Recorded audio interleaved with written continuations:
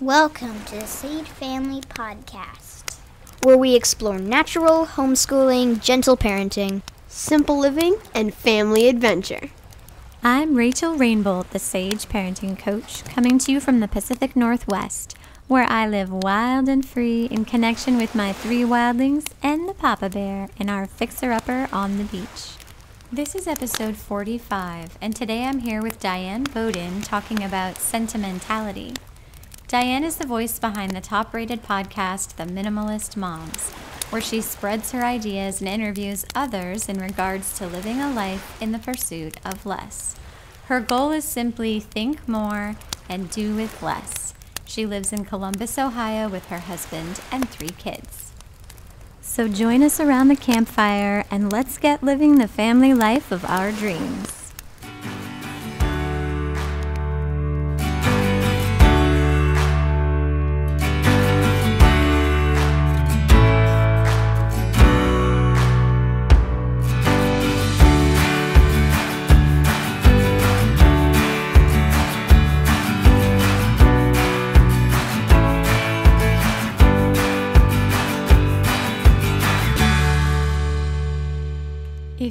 Enjoying the Sage Family podcast, then please scroll down and click those stars in your podcast app or on iTunes. This is a quick and easy way to support the show using the currency of feedback. Jenny T writes, You and your child will thrive with this information. If you want to feel more connected to your family, if you want to trust your children's development more and their natural brilliance, listen to this podcast. Once I heard the crackling of the fire in the intro to the podcast, I immediately felt excited for what was to come. Listening is calming, empowering, and informative. It's both artful and game changing info that all parents need to have access to. Thank you, Jenny. I really appreciate you taking the time to leave such a kind and thoughtful review. For today's adventure of the week turned thriving in quarantine segment, I wanted to talk about food. Now, I have an entire episode on this topic that I recorded with Dina Barcela, and I invite you to go give it a listen. I'll include a link in the show notes. But I wanted to speak to it now because it's one of the things I'm seeing a lot of families struggling with as parents complain about their kids incessantly begging them for food all day. We don't experience this in our family because I am not the gatekeeper of the food. We fill our kitchen with healthy foods, and my children go to the kitchen and eat whenever they're hungry. My kids have an incredible brain body connection, a relationship with food that I do not insert myself in the middle of, along with issues of power, control, and shame. From the time my kids are old enough to walk, they walk over to the low shelves of the pantry or fridge and help themselves to prepped and portioned foods. Terrified your kids will binge on a 10 pound bag of Doritos? Then don't buy Doritos. Your active role is in designing the foodscape. My fridge is full of berries and carrots and yogurt, and right now I think the favorite protein is deli sliced chicken madrasala, but you get the point. I front load the energy of setting them up for success with food, and then I give them the freedom to feel out the natural consequences of their choices. Eat all the blueberries in one day? Okay, we'll be going back to the grocery store next week. And when they finish something, they write it or draw it on the grocery list. But since I don't dictate what, when, where, and how they are how they are to eat, they just eat when they're hungry and stop when they're not. It really can be that simple. Wes just made himself a peanut butter, banana, and honey sandwich with strawberries. Yesterday, Bay made everyone scrambled eggs. If this sounds appealing but you're not sure where to begin, start by simplifying your kitchen to contain only foods you would be comfortable with your family eating, which, quite frankly, is ideally how it should be anyway, right? Make the choices about how you want to nourish your body at the grocery store, not standing in front of the pantry. Front load the decision making around what you want to eat. Then prep the foods so the good stuff is visible, accessible, and ready to eat. If you listened to episode 44 on habits, then that should sound familiar as we're clearing any resistance in the environment. Then you can introduce your children to their kitchen and invite them to help themselves whenever they're hungry. You may see an initial stage of binging as they learn to trust that this is not temporary. Say nothing. Let them feel out the natural consequences of feeling full and observe and make note of any boundaries you might need to add. For example, maybe the kitchen closes at 4 p.m. so that everyone is ready for dinner together at 6. But be sparing with the boundaries because the point is really to get out of their way so they can learn to hear and honor the cues of their bodies and you can learn to trust in them. Remember, independence is born out of freedom. So if you're craving more independence in your children, you have to lean back and give them the space to grow into that independence. If you want to see photos and videos of our kitchen, then head on over to sage.family on Instagram and follow along. Diane is the voice behind the Minimalist Moms podcast, which I'm sure a lot of my listeners know well. Welcome, Diane. Share your story with us. Who are you and what are you all about? Yeah, my name is Diane Boden. Thank you again for having me on the podcast. I'm looking forward to chatting with you. I am Diane Boden, and I am a mother of three living in Columbus, Ohio.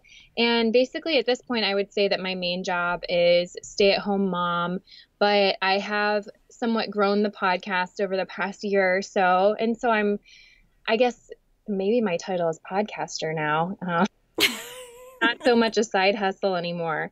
But yeah i guess things that i enjoy i um, i really love to read. I really love coffee. I love being outside. I love living simply.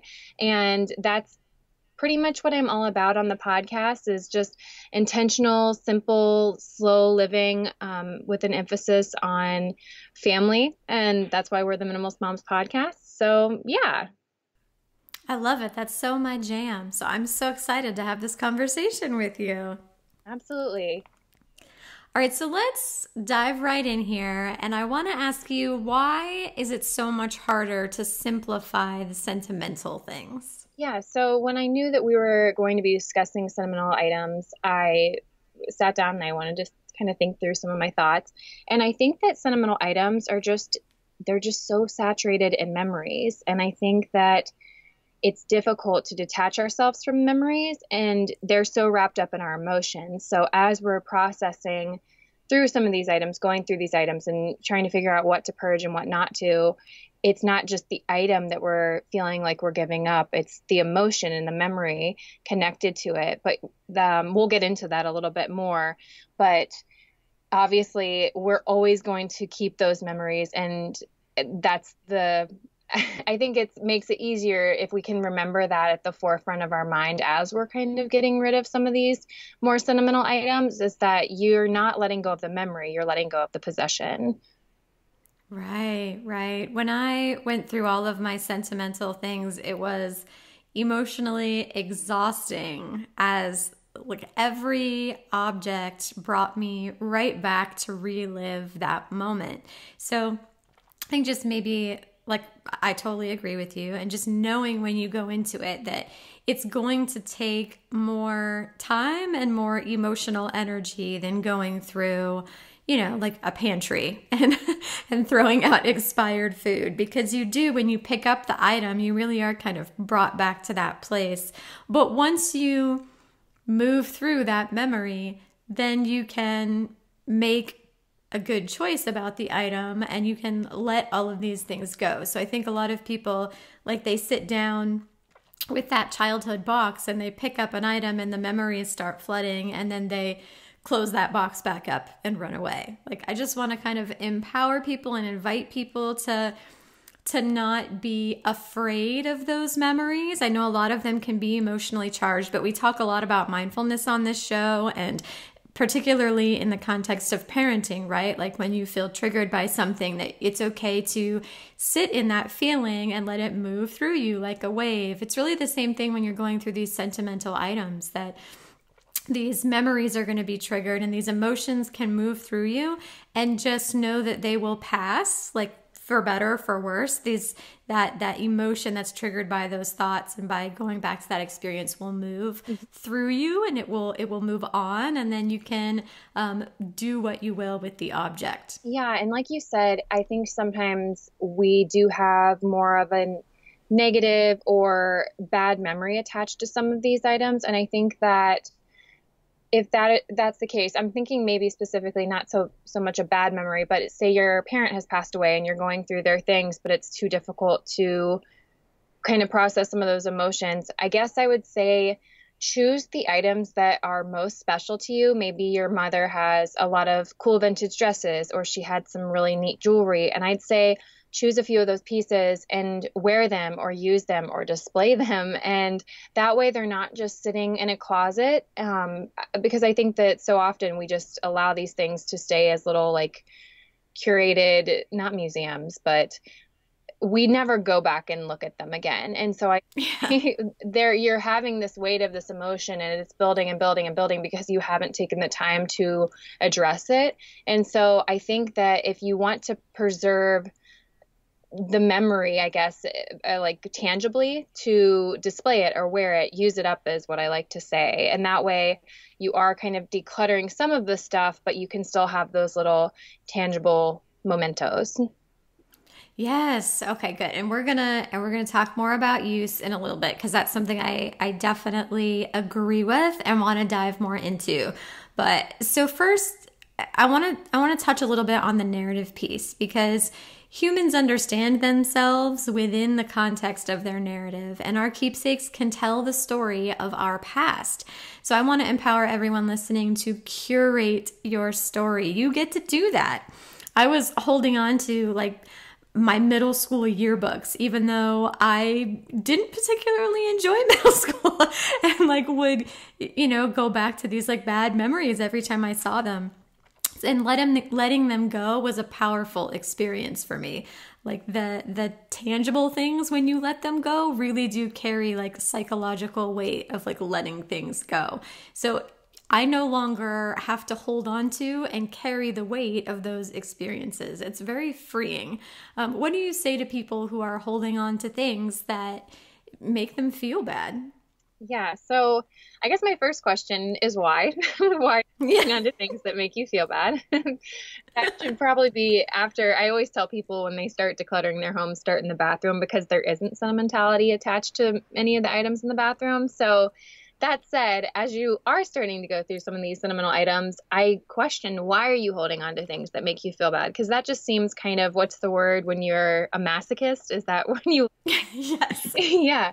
It seems kind of masochistic if that's a word. But yeah, I just I do wonder what is wrapped up in that ma- bad negative feeling. Is it guilt that you're feeling, really? Is it obligation that you're feeling? So maybe we can kind of dive deeper into what bad actually means, where that stems from, or what your negative feeling, where that kind of originates. And I would start diving slightly deeper. And again, we don't have to like psychoanalyze ourselves necessarily to start decluttering. I would say that if it is something bad, and you're having a harder time decluttering it, like maybe have a friend or your spouse or a close family member come over and help you as you're decluttering and have them be the ones to toss out the item. I think back just personally, I had just kind of similar to you in, in high school, I had I don't know, I don't want to call it a partying phase, but I I wasn't who I wanted to be maybe my junior year of high school. And I look back at some of the pictures um,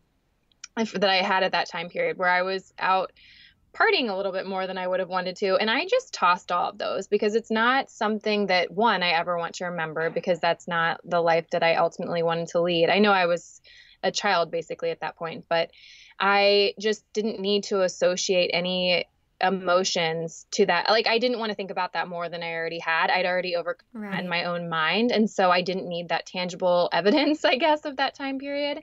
And I didn't ever want my kids necessarily seeing that. I didn't want my parents stumbling upon those photos. So again, like I am just being transparent with you and the listeners that that was the time that I did have a negative emotion attached to it and it was easier for me just to say let let's get rid of these i'm never going to look at these again i don't want to and it was easy to just like push them out yeah, because keep in mind that you're curating your story not just for yourself, but for your children. Mm-hmm. I mean, what story do you want your keepsakes to tell future generations about your life? I am still struggling to forgive my mother for the hoard that I had to go through in the wake of her death. Because if if you don't do it, your children are going to have to. So curate that story of your life for them through the keepsakes you choose to keep. And really like you mentioned and i had a i had similar experience going through like all of my photos choosing what photos i wanted to keep it's really uh, it's a really um important invitation when you go through this stuff to kind of make your peace with these chapters in your life or these memories that are triggered by these objects. So, for example, I I had a party phase too. and looking through those pictures, I was able to say like I'm really grateful that I had that experience because I chose to like I, I was very driven and got my degrees very young and chose to get married and have children and what most people would consider young. And and that that phase was an important phase that allowed me to sort of move through a lot of um, individuation like more quickly. Like so like i'm grateful that i was able to have that experience and now i can let it go and move forward. Mm-hmm. no i can 100% relate. My husband and i were married at 22 as well and we had our first child at 26 which is i know people have kids younger than that but yeah i think i think that it is helpful to i I think when you're looking back at some of these items that you're keeping, again, you may have already made peace with the emotions that you have somewhat attached to these items. And so I think that if you have made peace, then it might be easier for you to get rid of those items. And maybe you hadn't made peace with some of those past memories. And then maybe that's a good thing that's a prompting you to kind of work through that so that you can overcome it. Yes, absolutely. And I just want people to like look at these sentimental objects and and frame it as this is the story of my life. Like if I were gone tomorrow, these would be the this would be you know like the time capsule that that or the the the artifacts that you know the historians would look at. Like this is what these are the the the objects that your children and your grandchildren are going to use to help tell the story of your life. So what do you want that story to be? I just want people to like be mindful of that and curate that. And it's a good thing. Like you get to throw away the stuff that you don't want and you get to and you get to really emphasize the things that really matter and feel important to the story of who you are. So I just want people to get conscious with that storying that they get to do. Yeah, and not to go on too much of a side tangent tangent, but just if someone is experiencing as they're listening to this, if they kind of have that item in mind that they know is going to be difficult to process, whether or not they have their bad behavior associated with it or just whatever comes up in their life. I just want people to know, like, look, you and I have had the same connection because we've been there and we've processed this. And just you're not alone, I guess, in what you're going through and experiencing. And there's a lot of people that have been there and in similar situations. And I think so often as we're kind of processing some of these emotions and going through these items, it can feel like we're alone or we have been the only one to have made this mistake or this just brings up something yucky. And I think that we have to remember that, like, you really aren't. That sounds so woo woo and cliche, but it really is true. And it, yeah, it's funny to have heard you say that just because we don't know each other and we're having this conversation right. we have this connection, and so I think that I don't know. It's it's helpful for me as I'm kind of going through whatever in life to know that there are other people that can connect in the same way as me. So it's just a side tangent. No, I love it and I I completely completely agree. I think a lot of times we're like so I have this this thing that I've noticed that if I repeat something, it's and I don't mean like in the context of the podcast, but like in life, if I'm repeating something, it's because like it hasn't been validated yet. Like there's something in what I'm saying that I like I I'm still having a need or it still needs more attention. And I just I found the same thing with um, like my sentimental sentimental items. Like if i was holding on to something i was still having some sort of need to be validated around something in that object. And so even just having conversations like with other like-minded people helped me to feel ready to let go of it you know? So like i um, called up a friend who was like like I had this big chunk of pictures from this one trip I took and I like sent a couple to my friend and I called her and we like had a conversation about it and then I felt totally ready to like let those go like so just to like have experiences validated by people in your life who get it can really help you to feel ready to to let to let go of them. Mm-hmm. No, absolutely. Okay, so what criteria do you recommend to help people decide what to keep and what to let go of? So I wouldn't say that I necessarily have a criteria that I draw out for people or anything, but I think that the best advice that I do have here is just you have to be realistic and you just need to find basically a balance, I would say, between your past and your present and um, again, if you're just holding on to an item because of guilt or obligation, it's time to let it go. And it was kind of cool because I had a moment just the other day.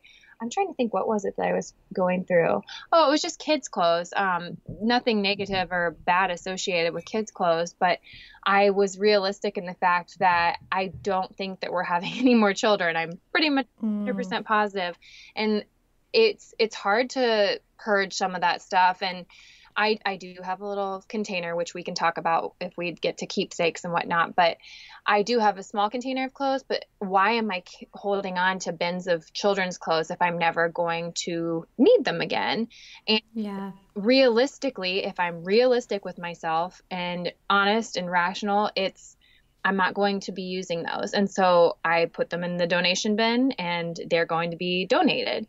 And I, I guess, like I said, I don't have a criteria. It's just, I think you have to be bluntly honest with yourself about what it is that you're trying to get rid of. If you're going to use it again, if you're going to fit into those jeans again that you have from your 20s, if um, which right now I'm not fitting in those jeans, so I had to some of those. And I'm trying to think of something else that's been super sentimental to me. One of the things that I haven't been able to get rid of, I have some race medals from running half marathons and I was never a runner. And so the first time that I was able to complete one that was just such a special moment to me. And now I've run several but I can't seem to part with those medals. And so I have them, I'm looking at them mm. right now. I'm recording from in my closet and they're in a box underneath. So I'm kind of going against what I've said to like use it up and display. So I think things like that, like just remember that we're all going to have an area that's somewhat of a struggle when it comes to sentimentality. But as you're going through it, just be as realistic as possible. Oh, I love that story about your medals. it's funny. I had um, in my like childhood box this um, trophy. I think I even posted a picture of it on Instagram. It's like a trophy with a horse on it from when I run from when I won grand champion at horseback riding camp, and it's this like you know trophies, right? Like this big plastic shiny thing that I have no interest in displaying in my house. So I took a picture of it. And that's like one thing that always really helps me is if I'm I'm feeling like really attached to something.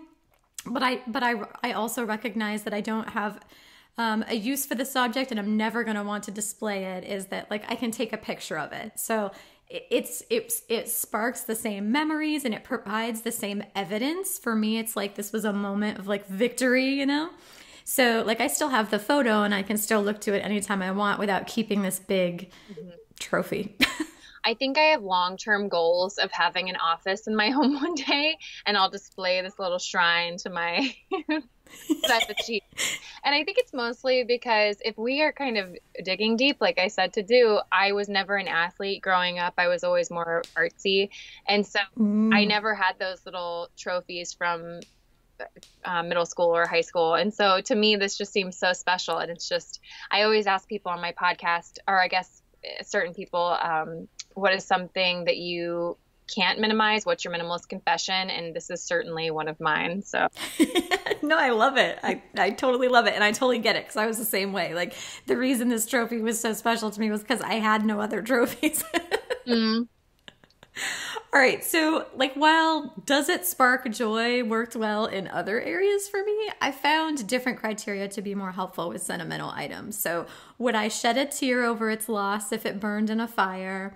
And do I want my children to inherit this when I die? like I found those two questions mm-hmm. that like when I asked myself as I was going through my sentimental items to be helpful. They provided some clarity for me. Like would I cry over this if it burned in a fire? Do I want my children to inherit this? Yeah, that's good. That's good.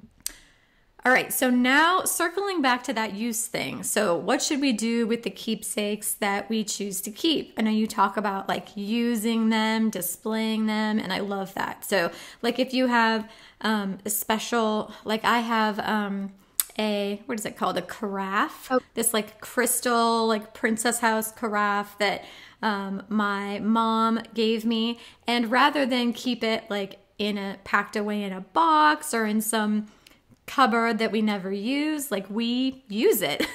It's in like the functional part of my kitchen. We when i make like a big breakfast we put our orange juice in it. Like so if you have these keepsakes use them display them incorporate them in your life.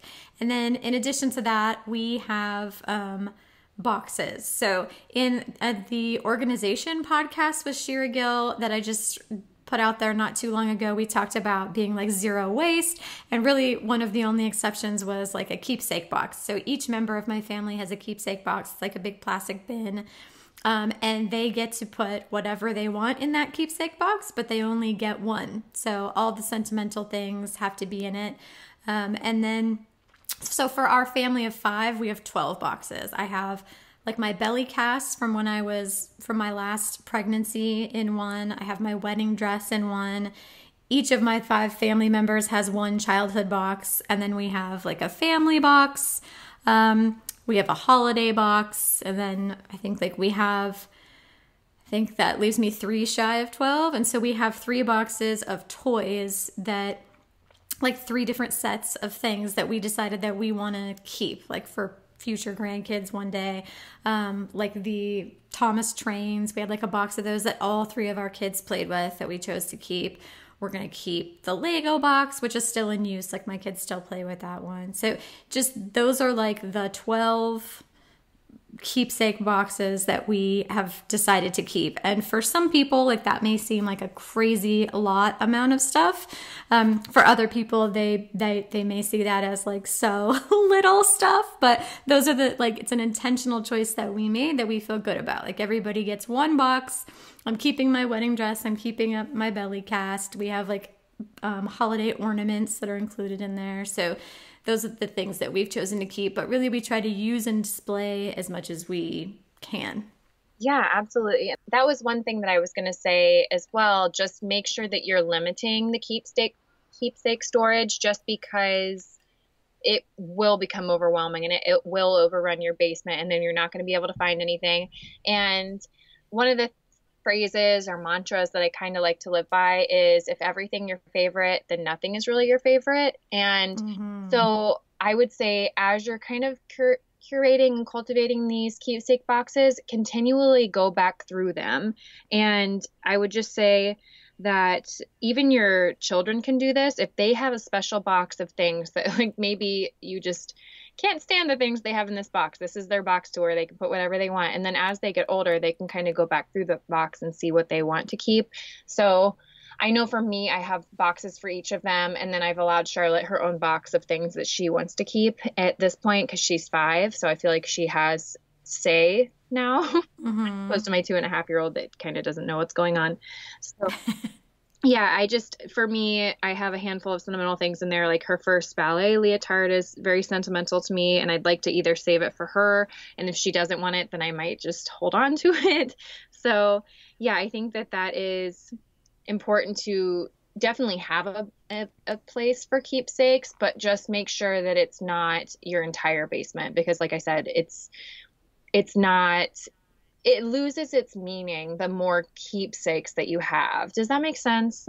Yes, I completely completely agree. And like I said like each each a member of our family of 5 has one keepsake box and I love that you brought up that point that it's we're going through it on a regular basis because the kids will have something that they'll want to add to the box and if it's full we'll say like okay so what thing do you want to take out like what thing is this more important than so we're constantly kind of um, curating that box as we add things to it. Like I put, um, um, like a, a baby outfit from each of them in their keepsake box. Um, our toddler Tula is in my youngest's box because he went everywhere in that and it's still in really good condition but it's like such like a keepsake thing i feel like for me and and my little ones. But if he it's his box. So like if he gets older and decides that there is, are other things that are more important then he is welcome to take that out of the box. So it's sort of this like you said like it's sort of always being um curated and then just be mindful yeah like you said of how much you have because the more you have the less um, importance each thing each, each, the less weight each thing gets to carry mm-hmm. in the overall picture mm-hmm. yeah absolutely yeah they're just as they're not as meaningful yeah, exactly. And I love to hearing about like the different things. Like I know you've shared a couple examples and I love that. The different things that people keep mm-hmm. because you know, like I chose to keep my wedding dress. I know a lot of other people, minimalists especially, who have no interest in keeping a wedding dress. Yeah, I and keep like, trying to sell mine, and no one wants it. I'm like, yes, yeah. you should want it. and I totally, I totally get that.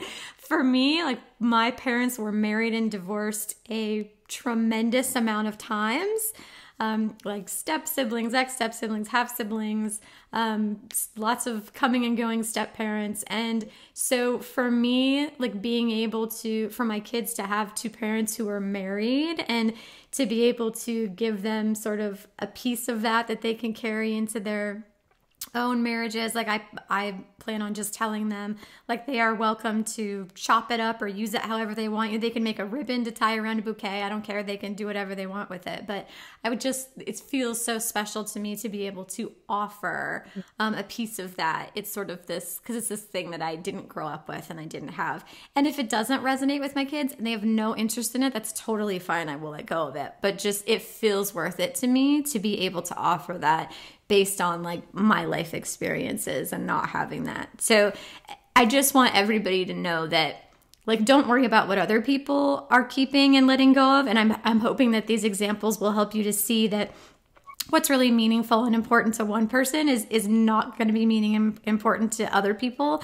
So just to be really in touch with like what things are really meaningful to you and why they're meaningful and just curate that story. Mm-hmm, absolutely. Okay, how I want to talk about photos. Okay. So, how do you store older photos? So, I don't have a ton of photos printed out. I will say the ones that I do have printed out, I have baby books for each of my kiddos. And so that was basically, well, I don't have one for my third child. I probably should not because he's six months old at this point. But I have the first year of their life just it it was something that I wasn't really intending on doing. I just had a girlfriend that bought me scrapbooks. But anyways, I have no same here. Like my first two have scrapbooks, and then my third does not because at the time my sister was scrapbooking and had all the stuff, and so I was doing it with her. And now my poor third has no scrapbook. yeah, I'm like, oh no, but um, I don't have a scrap or I don't have a ton of photos printed out, uh, just a mm-hmm. few in mm-hmm. there. But that said, I do do a scrapbook every year on Shutterfly. And so I feel like it's very user friendly. And I basically just upload photos from my phone directly to the app. And then I can get on my computer and I do them if there's some kind of event. So Christmas, we'll say, or Easter or Fourth of July. I will try and organize those photos in the scrapbook within that week or else I get behind. And then at the end of the year, I just print out the Shutterfly book. So I guess you have to be slightly more intentional about doing this, but it if you are on top of it, it doesn't seem like that much work because you are just going in real quick. It only takes like 20 minutes to make a page and you do that. Like you don't have a ton of events. And then for just the random photos you're taking on the day to day on your iPhone, I just usually create like fall, spring, winter, summer, and then put the photos in from that time. And they're just, there's not a ton of organization, but at least they're in a scrapbook. And that way they're not taking up a ton of extra space, but space, but those are very important to me to have. So.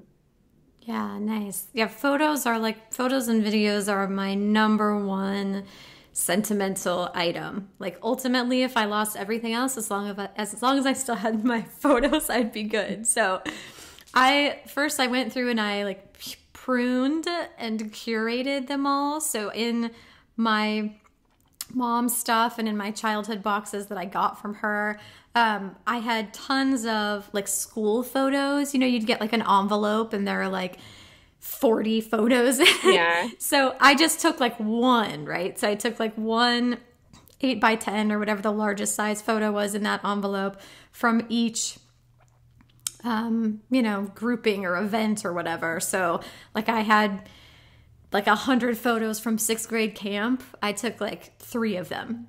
And so I just went through and really like pruned um, a lot of the the photos that I had because really like pre-digital age and maybe I'm aging myself here but back when I was growing up we didn't like we couldn't take a, a picture on our phone and look at it. Yeah. so we had like rolls of film that we would take to like Costco and get developed. So we would take like 20 pictures and then there'd be like one good shot because you couldn't see what you were taking. So there were a lot of photos that were really easy to like pick the one best shot and then just throw the rest away. So after like pruning all of that, um, I wrote, I labeled the back of each photo with the year or any, if there was any like pertinent information. Like I said, like I had like 100 photos of sixth grade camp, I would write like the year and then sixth grade camp.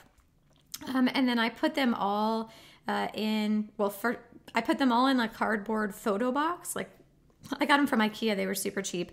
And, and they're all in that box chronologically. Um, and then those photo boxes are in my childhood keepsake boxes, but all of the photos are digitized. Yep. So that was like the most important thing to me is that I had all of the photos digitized. So of course, like post smartphone, they're all just on my phone and automatically back up, backed up to the cloud. So um, one of the things I chose to invest in is high storage on my phone, and then I pay um, for high storage in the cloud. And that gives me a tremendous peace of mind that all my photos are backed up automatically as I take them so that if my house washed away in a flood, I would still have all of these photos that are so precious to me. Mm-hmm. I'd pay for the same, um, the extra storage because I find that really helpful. I also have a little side hustle of photography, so photos are very important to me too.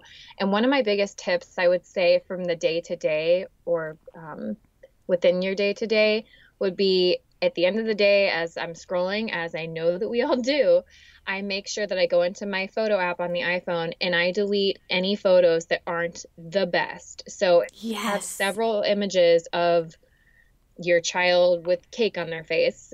Make sure if you need to save like two, then save two, but otherwise you don't need eight to 10 of the same type of image. Like choose your favorite and then delete the other ones. And that kind of cuts down on the digital clutter as well. And then you know that when you go to make your scrapbook or go to save, that you're only saving the best.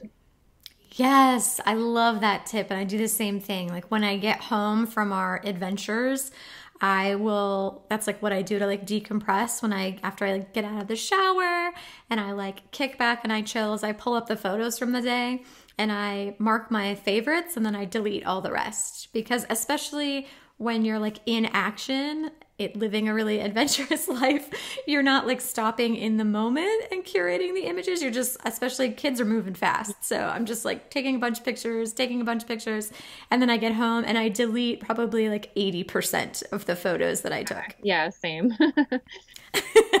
so how are your digital keepsakes organized and stored? Um, basically, I have one for each of my children. So that's just pretty straightforward and simplistic. And then I, not so much anymore, but I was going on at least a trip a year by myself when my husband and I were first married. Um, I would do like a girls' trip. So I have one folder for myself, one folder for my husband and I. And then I know we're all about the screenshots, and this I feel like we all take screenshots on our phone. So I have an album just on my phone for reference, I guess. So it's pretty straightforward. There's nothing like too complex to it because I think that when you start to have a ton of folders that you have to access, that's when you stop doing it.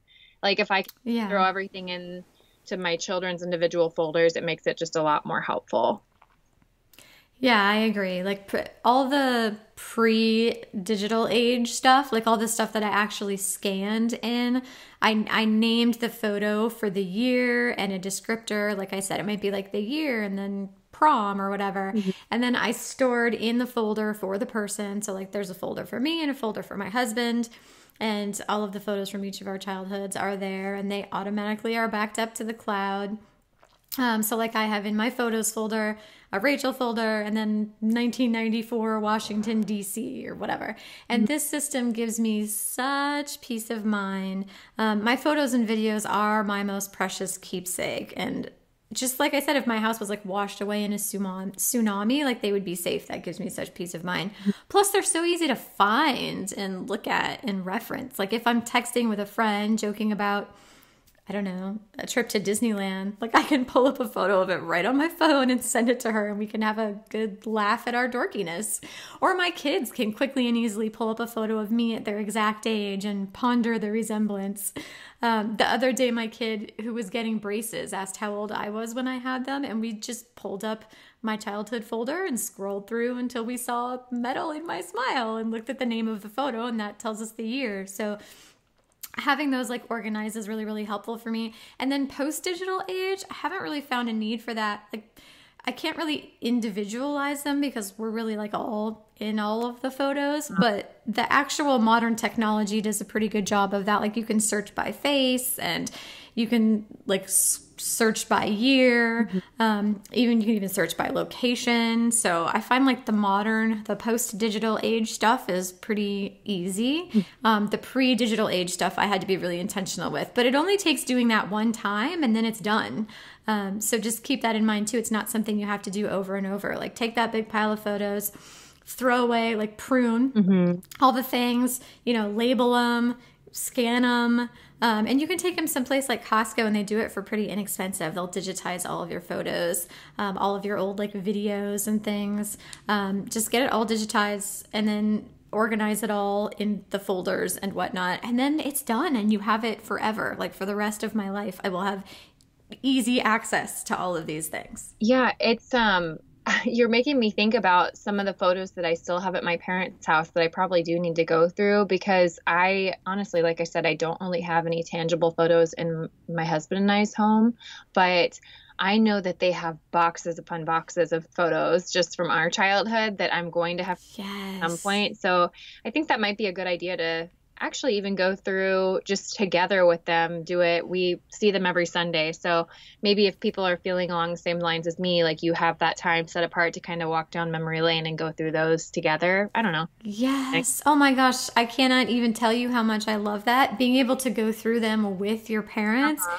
is such a gift. I mean you guys can like live through those memories and ask them questions especially because if you were a kid you know they're going to have this perspective and this higher level of information and detail than you're going to have if you're going through these after they're gone which realistically i mean that's what you're facing if you don't do it when you're when they're still alive. So to be able to do this with them would be amazing. I love that idea. You'll have to tell me how it goes if you do this.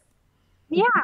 Yeah All right, let's move into our Q&A. So, I asked the Sage family community what questions they had about sentimentality, and I'm going to hit you with two questions today. Okay. Um, Caitlin asks, "What tips do you have for declining sentimental items from family? What do you do when someone wants to give you something that was important to them but you really don't want it?" So, I have a couple of thoughts, and they're both probably not the kindest. stay with me here. Okay. okay. Well, actually, one's more kind. So, my first reaction if my mom is starting to give me something that she doesn't want to keep but wants me to have, I am kind of questioning her, Mom, if you don't want it, why would I want it? But I feel like I'm so honest. I'm, I'm maybe a little bit too direct with my mom in that sense. But I would just wonder why yeah, if it's something that they don't want to have in their home anymore, why are they pushing it out? And maybe you can ha- kind of dialogue with them. Um, maybe this is an opportunity to kind of chat and see why it is that they don't want it anymore and toss it together. And then the kind way I would just say is to accept the item because with any type of gift giving, I feel like it's in the experience like that person wants to give you this thing and for them it's the experience of giving it to to you that's important. And so once it's yours you can do with it as you as you wish. And if that means it's going directly into the trash can when you get home or into the recycling bin or to the thrift shop wherever it needs to go that is it's no longer theirs. It's yours. And so you can do with it what you will. Does that make kind of make some yeah. Yeah. Like i i mean my response is like really simple is just no thank you like there were a great many number of conversations I had with my mom over the years in which that was my response to her trying to give me sentimental things. Mm-hmm. Just no thank you. And she would, you know, push and push. And sometimes I would um, I found that coming up with practical reasons for why I would, would say no would be helpful for her. So I might, if she's trying to give me something breakable, I might say, um, like our three kids have full access to everything in our house. So if you give me something breakable, it's going to get broken. Um, which, if you're okay with that, then I'll take it and use it, but know that it will get broken. Like, and you know, so then she might choose to keep it. But I, I try to be, I try to practice like radical honesty. Mm-hmm. And so if I don't want something, I'll be honest about it and I'll say, no, thank you. I, I have said, numerous times to people that like when I've asked them like why that object is important to them, I'll I'll you know engage really positively in a conversation around them with that, and then I'll say, yeah, it doesn't have um, sentimental value for me the way it does for you. Like I I love that story, and I can totally see that for you, mm-hmm. and um, I don't feel any of that for it. So if it's special to you, you know, you can keep it, or if you're ready to let go of it, you can let go of it. But it doesn't have any sentimental value for me. Um, so I try to just be really, really honest and keep it simple. Mm-hmm. And sometimes people need it on a practical level. So you can say that you don't have space to store it if it's true, or like I've said, things in my house will get broken, which is not not a lie. Mm-hmm. so those are. Oh, go ahead. Oh, go ahead. I was just going to say those are some ideas that have been helpful for me. No, those are great ideas. A couple more things as I'm processing this a little bit more as you're talking. I know that my parents they saved my childhood childhood bunk bed um, that my sister and I shared. And it's a really nice bunk bed. It's wooden and it has um, a desk on one side, a bookshelf on the other. It's very, very nice. But my husband and I just kind of have had the rule we don't want bunk beds right now. Our kids are way too young. And like maybe long term, we don't even ever want the bunk bed. So that's yeah. somewhat difficult. That's the only thing that I feel like they've ever tried to like push on to me because it's taking up space in their basement. And I've just kind of told them, hey, you know what our lifestyle is like. You know that we're trying to pursue minimalism or living with less as much as we can. And we're very intentional about what we bring into our house. And so sometimes with family members, you have to just keep reiterating that fact by the way that you live. Like, show them that that is true of you and your family. And I know that there are certain family members of ours that we've had to be very repetitive with that fact. And there is one individual in particular that she does try to give her love language is for sure gifts. She loves to receive gifts, um, not in a greedy way, but just she yeah. feels loved that way and she loves to give gifts. Even if it's just a cake that she's made for us or if it's leftovers from dinner, but my husband and I are not necessarily wanting a cake in our house all week, we do for her, uh, for her specifically, we will bring it home. Hopefully, she's not listening to your podcast, but we'll bring it home and we just dump it in the trash can if there is and i hate to waste food but i know that she doesn't yeah. want it we don't want it but for us like i said it's in that exchange that makes her so happy and that's important to me to give that to her at this point because she just doesn't take no for an answer at this point and i think that there mm-hmm. are some mm-hmm. people in your life that are just not going to understand the way that you're living and the way that you're choosing to live. And this has been like eight years that I've tried to explain this to her. And I think she's like somewhat starting to get it now, but it's just personalities. I think it's, it's hard. So, like I said, I think that if you just need to take the item and then either donate it, recycle it, trash it, whatever you got to do is can yes i love that point you're bringing up about the repetition like it often takes so many repetitions and i love what you said about show them who you, who you are show them how you and your family live like that's beautiful and so well said and that does sometimes require a lot of repetition and sometimes you're just taking the thing and letting it move through you to someone else who needs it more like when when people give us food that we don't want. We literally just like on the way home stop by like um someone on the street and just mm. hand it to them you know or like clothes or something. We'll just go straight to the donation center and drop them there. So like it doesn't even get in our house. Yeah no that's that's great. You're more sustainable than i am. Sorry that was not meant to be judgy. Can't have this cake. It's going right to the trash.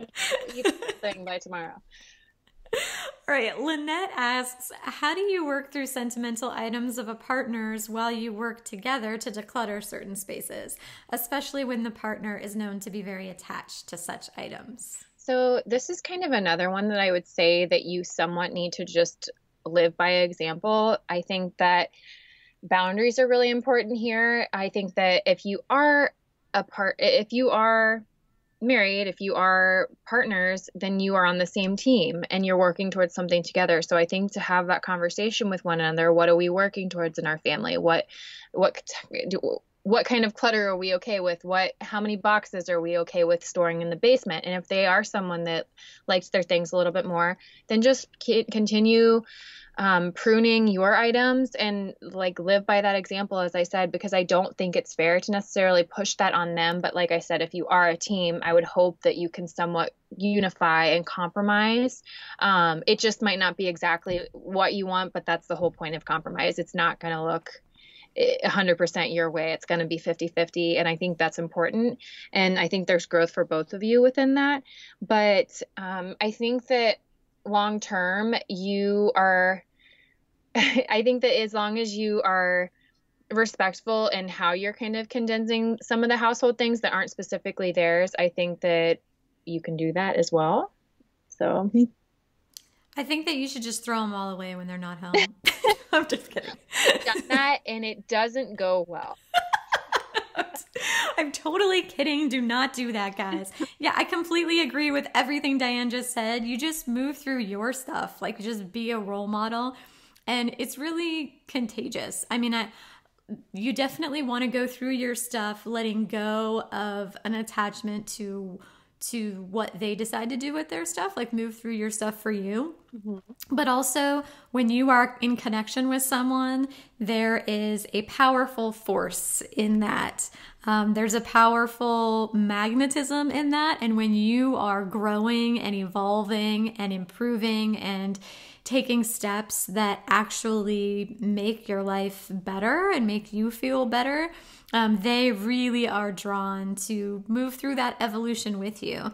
Um, that's just sort of the nature of relationships, right? So just move through this stuff for you and in have that door open for your partner to be included in it. Like while I was going through photos of my childhood, um, you know, I'd call my husband and be like, oh my God, look this photo. Or, you know, I'd like show him like, oh, look, this is my baby outfit or whatever. So I'm, I'm sort of involving him in the fun of like going through some of these things and, and, and letting so many of them go. So he gets to like bear witness to that and be a part of it. And then he wanted to do the same for his. So we got all these uh, boxes of mine, like childhood boxes when my mom passed away. And, and I went through all of mine and then of, of, course like he pulled out like his box. And as I'm digitizing all of my photos like well he wants his photos digitized too. So like then he's going through his and we're getting them all digitized. Mm-hmm. so just like doing it together and making it something really positive and something that like adds to your connection and and then just live really um like visibly like be transparent so that the people um, around you can see um, how it's helpful for you. Yeah. And then just one last thought. I think that if you were to just start condensing and paring down your partner's possessions, I think that honestly that's going to cause more harm than good because I know for someone like me and my personality, I'm probably going to be stubborn. And if I was even exactly. on board, I would be angry with you and probably try and keep things and ho- hold on to them tighter. And so I think that could really backfire if you start to toss things that aren't yours to toss. So Yes, that is 100% accurate as someone with a degree in therapy. Just to like validate that. Yeah, if if your partner is pushing you or taking control of your things, you are going to dig in your heels mm-hmm. and be stubborn and keep far more things than you would have had your partner not pressured you. So, like, don't pressure, but invite. Like, it's like a delicate balance, but it's one that like if you're on the right side of it it makes a huge difference like i, there, I am a big fan of inviting like in parenting in general um, i invite my kids I don't pressure or force or take over. Um, and really, all of those same skills like are true for all relationships, but especially your partnership relationship. Yeah, and then also maybe in the home, this is just one last thought. Sorry, I keep going on. But No, I love it. My husband has a little space carved out for himself in the basement. It's his little workshop and maybe this isn't available for everyone, but for some people it might work. And he has this awful giant like guppy fish head down Does it sing? No, no, no. It's actually, okay. I, I don't, maybe it's not a guppy. I can't think of what it's called. A guppy's tiny. This is huge. And it's his great grandfather's, and his great grandfather caught this fish and mounted his oh head oh on God. his plaque. And I just was really hoping in the move that it would somehow get displaced. and it somehow made it to the workshop. Like, you know, oh my God. I don't go in that space. It's your space. You can keep what you want in there. I just don't want to have to be in your space. Like, I don't know. If we can carve out spaces for one another to just be our unique selves and to store what we want in those spaces, I think that can be beneficial too. So, yes. Oh my God. I 100% agree. Like, n- no criticism um either like that falls in the like pressure category like no criticism no judgment like they have their keepsake box or their workshop space or whatever it is and they get to put whatever they want in there. Yes. There's we have this joke my husband and i he has this notebook from when he was like a kid that has different cards like baseball cards or whatever just like random cards. And when we first got together i like railed on him that like you know, you know, he's like, they're they're worth money. I'm like, great, then sell them. We could use the money. I just like railed on him on how stupid it was that he had these this note like he didn't have hardly any sentimental things, but he had this notebook with these worthless cards that felt so dumb to me. And because I said, I using those words, I said them many many years ago. We got together when we were teenagers he still has that notebook. Like he's he's going to have that notebook the day that he dies. Like they're gonna have to cremate him with that stupid notebook because yeah. because I said something about it like 20 years ago. I like criticized it and judged it. Now he's like never going to get rid of that notebook. So even though I haven't said anything about it in years, every once in a while, if we're going through sentimental stuff, he'll pull it out and make a big show of it. Like, oh, look, it's my precious notebook with my very special and highly valuable cards. So, yeah, yeah. the whole judgment and criticism thing, just don't do it. Yeah, yeah. All right, let's move into our deep dive. The show notes can be found at rachelrainbolt.com slash podcast 45, where you can also subscribe and get future show notes sent right to your inbox. What are your favorite resources for people to dive deeper into this topic, Diane? Yeah, I have a couple that I wanted to mention. One is Soulful Simplicity by Courtney Carver. And I feel like she just really kind of got in on this whole minimalism trend before it became a trend. And so I recommend that book. It not only has to do with maybe paring down your possessions, but just paring down your uh, maybe your mindset and your schedule. So minimalism applies to not just our tangible possessions possessions, but really your whole life. And then the other one is The More of Less by Joshua Becker, and I also really love what he has to say in that book. He also wrote one, I think it was last year, that went through the home and decluttered the home room by room. And I'm, I'm sorry, I'm slipping on the name of that right now. The Minimalist Home, I think. Yes, yeah, that's what it is. Um, uh-huh. And those are, all of his books are really excellent. And he just is really a, a, witty, honest writer, and it's really approachable, and he really breaks it down into easy steps for you. So I highly recommend both of those books and the Minimalist Moms podcast if I'm going to do a shameless plug. Thank you. Yes, the Minimalist Moms podcast. Um, everyone should be listening to, and you should also be following Diane on Instagram. Your handle is just Minimalist Moms Podcast, right? Yep, that's correct. All right, and then I am going to link to a post that I have called Simplifying the Sentimental. It's just rachelrainbolt.com slash simplifying dash the dash sentimental, where I actually just wrote that article when I was in the midst of going through all of my sentimental stuff. So there's just photos of all the stuff I was talking about and links to different things that I found helpful. Um, and then I'm also going to link to my minimalism books blog post because I have a few books that I have found to be super helpful in going through and minimalizing, minimalizing, minimizing everything. we need some grammar expert up in here. Um, so yeah, I'm going to link to all of those and Oh, Diane, thank you so much for coming on and sharing this conversation with me. I've been a long-time listener of your podcast, and you are so genuine and down to earth and enjoyable to share a conversation with in almost real life. Yeah, absolutely. This was really fun. I enjoyed my time. Thanks for having me.